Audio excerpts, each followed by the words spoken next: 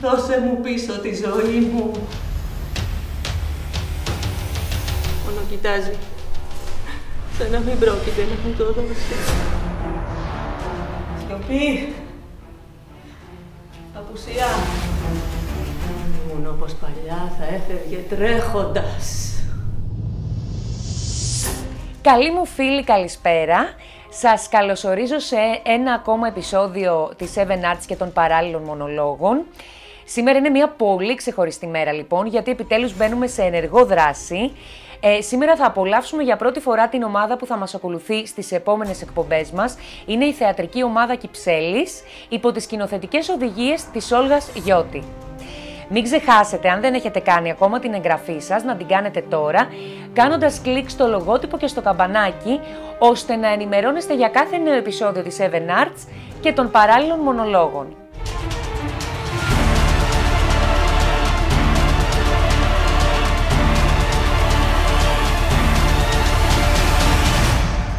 Ο Φιλοκτήτης είναι το έργο του Σοφοκλή με το οποίο κατέκτησε την πρώτη θέση στα θεατρικά δρόμενα, στους θεατρικούς διαγωνισμούς στα Μεγάλα Διονύσια ή Ενάστη Διονύσια, όπως είχαμε πει στο πρώτο επεισόδιο, το 409 π.Χ. Τα πρόσωπα της τραγωδίας είναι ο Φιλοκτήτης φυσικά που είναι και ο πρωταγωνιστής, ο Νεοπτόλεμος, ο γιος του Αχιλέα, ο Οδυσσέας, ο γνωστός πολυμήχανος Οδυσσέας της Ιλιάδας και της Οδύσσιας και ο Ηρακλής. Και ας δούμε λίγο την υπόθεση αυτής της τραγωδίας. Μιας τραγωδίας η οποία πραγματεύεται τα μεγάλα διλήμματα που συναντάει ένας άνθρωπος στη ζωή του και θα δούμε αυτά τα διλήμματα να παρουσιάζονται και στους τρεις βασικούς ήρωες, στο Φιλοκτήτη, τον Οδυσσέα και τον Νεοπτόλεμο. Η ιστορία μας λοιπόν ξεκινάει με τους Αχαιούς να εκινούν για την πολιορκία της Τρίας. Μέσα στο πλοίο επιβαίνοντες είναι ο Φιλοκτήτης, ο Οδυσσέας και ο Νεοπτόλεμος, εκτός των άλλων φυσικά. Ο Φιλοκτήτης φέρει τα δικά του όπλα που δεν είναι άλλα από το τόξο του Ηρακλή. Ήταν το τόξο με το οποίο έδωσε ένα τέλος στο βασανιστήριο του Ηρακλή σκοτώνοντάς τον, ε, όταν ο Ηρακλής φόρεσε το δηλητηριώδη χιτόνα που κατέτρωγε τις άρκες του. Λίγο πριν καταφτάσουν στη Λίμνο, η οποία καταγράφεται ως Εθαλία, θέλησαν να κάνουν μια θυσία στην Ίσο Χρυσή, στην ε, Θεά Χρυσή, όπου σε αυτό το μικρό νησάκι υπήρχε ο βωμός της. Αποφάσισαν λοιπόν, αποφάσισε ο ίδιος ο Φιλοκτήτης να κάνει αυτή τη θυσία. Κατεβαίνοντας στο νησί όμως, ε, τον δάγκωσε το ιερό φίδι που φιλούσε το βωμό, προκαλώντας μια τρομερή, τρομερά επώδυνη πληγή στο πόδι του, επώδυνη και πολύ δύσοσμη. Ο φιλοκτήτης λοιπόν υπέφερε τρομερά και όλοι οι υπόλοιποι επιβαίνοντες στο καράβι δεν μπορούσαν πλέον να υποφέρουν τις ε, βασανιστικές κραυγές του και τη δυσοσμία της πληγής του. Έτσι λοιπόν αποφάσισαν να τον εγκαταλείψουν στο πρώτο κομμάτι γης που βρήκαν μπροστά τους και δεν ήταν άλλο από το νησί Λίμνος. Ο φιλοκτήτης λοιπόν εγκαταλείφθηκε χωρίς κανέναν ήκτο σε αυτό το νησί και για τα επόμενα 10 χρόνια έμεινε εκεί ε, υπομένοντας εκτός από τους βασανιστικούς πόνους που του προκαλούσε η πληγή του, την ασυτεία και όλα τα δεινά μίας εξορίας.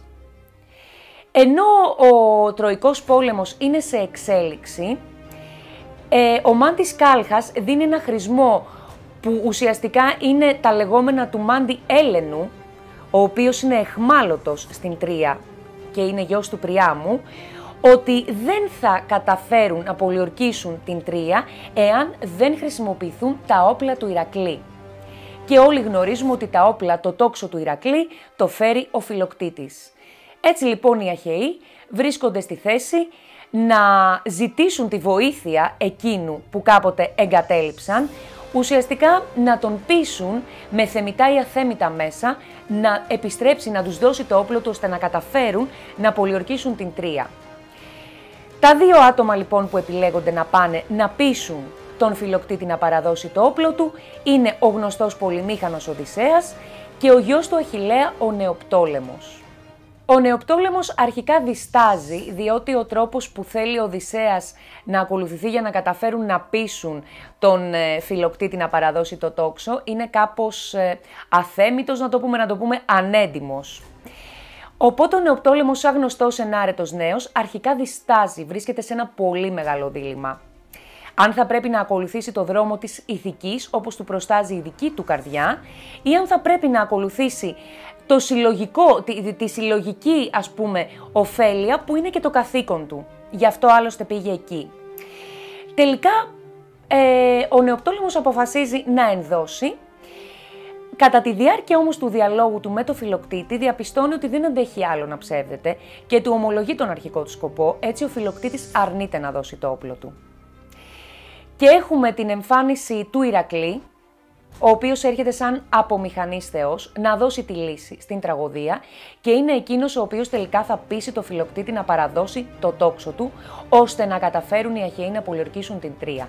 Και κάπως έτσι κλείνει και η ίδια η τραγωδία, με το φιλοκτήτη να επανεντάσσεται ουσιαστικά όχι για χάρη των Αχαιών φυσικά που τον είχαν εγκαταλείψει, αλλά για χάρη του Ηρακλή που του το ζήτησε σαν χάρη, να επανεντάσσεται στην ομάδα και τον βλέπουμε να πηγαίνει και εκείνος να βρίσκεται και στο δούριο ύπο προς την πολιορκία της Τρίας. Οι τρεις βασικοί ήρωες έχουν να αντιμετωπίσουν ένα κοινό δίλημα. Το δίλημα είναι κοινό, αλλά οι χαρακτήρες τους είναι διαφορετικοί, γι' αυτό και το αντιμετωπίζουν διαφορετικά και οι τρεις τους, που είναι ο δρόμος του ήθους, το ήθος αυτό δηλαδή που προστάζει το δρόμο της αρετής ή της κακίας, και το δρόμο του λογισμού, δηλαδή της λογικής, ε, το, το δρόμο που σου δείχνει ανάλογο με αυτό που έχεις στο μυαλό σου, πού θα οδηγηθείς ως προς το συμφέρον σου. Ο φιλοκτήτης λοιπόν, ε, από τη μία έχει την επιλογή να επανενταχθεί στους, σε εκείνους που τον εγκατέλειψαν ουσιαστικά, ξανακερδίζοντας πάλι ε, μία θέση ανάμεσά τους και τη δόξα επίσης, ε, όμως επιλέγει τη μοναχική οδό, εκείνου που δεν ξεχνάει, εκείνου που δεν συγχωρεί την προδοσία και την εγκατάλειψη και επιλέγει να μείνει και να εμείνει στο θυμό του και στη δίψα του για εκδίκηση.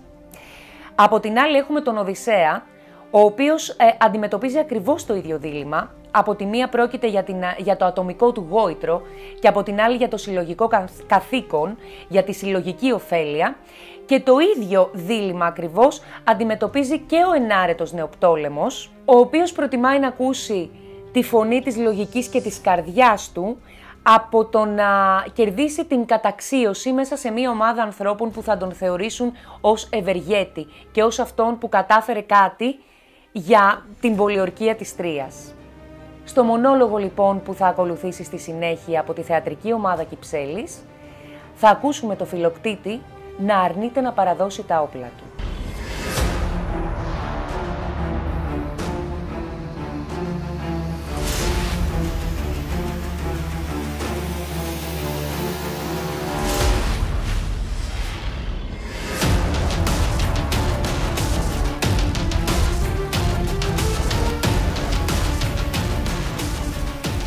Ανάθεμα σε λέλαμα, ανδρή και λέω άθυρμα χαμένο της ψευτιάς τι μου έκανες; Πώς με παγίδεψες; Δεν τρέπεσαι να με κοιτάζεις κάθαρμα εμένα τον οικέτη το ζητιάνο σου.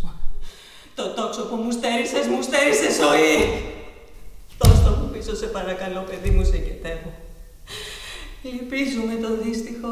Καλά να σε έχουν οι πατρώοι θεοί. Δώσε μου πίσω τη ζωή μου.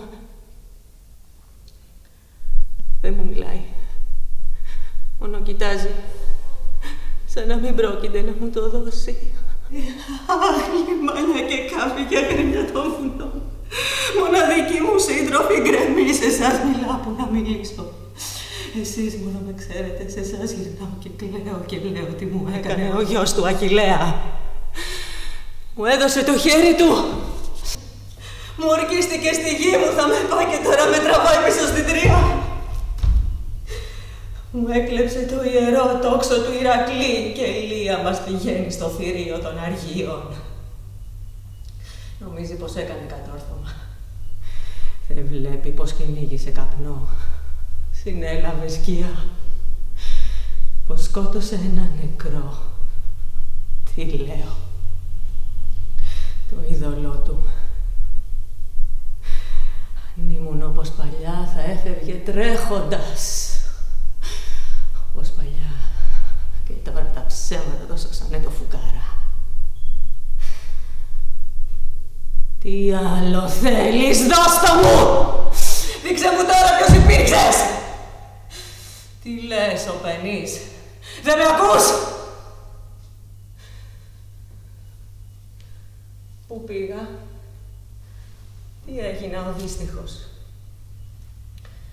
Σιωπή, απουσία; Αχ, τρίπια πέτρα μου, εδώ είμαι πάλι. Σου έρχομαι άοπλος, δίχως τροφή και ελπίδα για τροφή. Στα σπλάχνα σου θα μαραθώ. Τα σπλάχνα μου μοναχική βορρά στα γρήμια του ουρανού και του βουνού που μέτρεφαν θα καταντήσουν. Η σάρκα μου τρομαγμένο κυνήγι για τα νύχια και τις φτερούγες που κυνήγησα θα χύνει.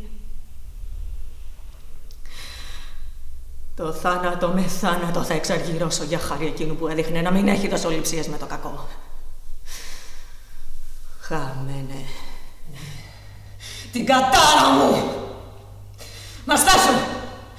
Όχι πριν μάθα με κάνωσες. Αλλιώς χάσω από μπρος μου και χάσω σαν σκύλι.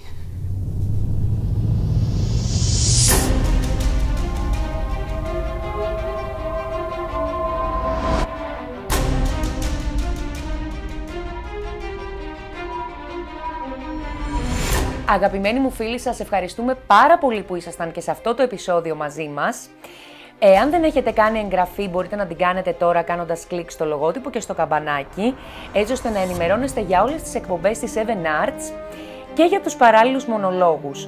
Μην ξεχνάτε ότι τα σχόλια για σας είναι πολύτιμα για εμάς. Μέχρι το επόμενο επεισόδιο, να περνάτε υπέροχα.